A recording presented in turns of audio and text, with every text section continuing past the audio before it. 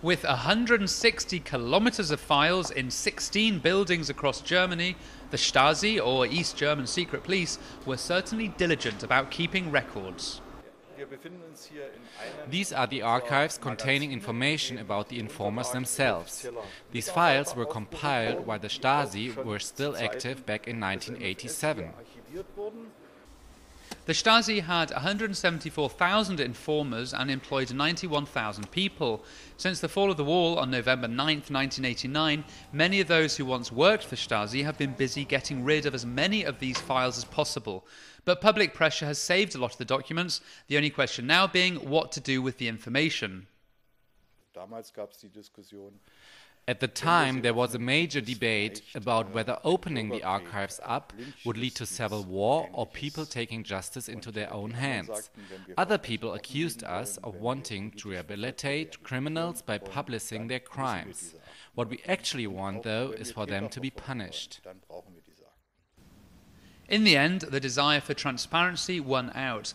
The governmental agency which runs the archives allows state authorities, the media, and historians access to the files, and over one and a half million German citizens have viewed them. One of them is Bernd Lippmann, director of the Stasi Museum, who was imprisoned for distributing banned books. What people are always forgetting is that the important thing is not uncovering who has done something wrong, but rather finding out who hasn't. So far, only a third of the documents have been filed, and there are another 16,000 bags of papers destroyed by the Stasi, which until now have been reassembled by hand. To help speed things up, the government has given 6 million euros to a project being run by the Fraunhofer Institute. The scraps of paper are scanned before being put together by a computer program.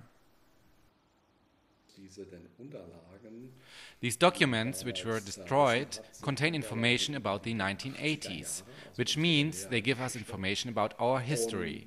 During this period, there was a lot of intensive cooperation between Western and Eastern politicians. Thanks to new technology, work on this giant jigsaw puzzle could be completed within the next five years, undoubtedly revealing one or two surprises about the Stasi.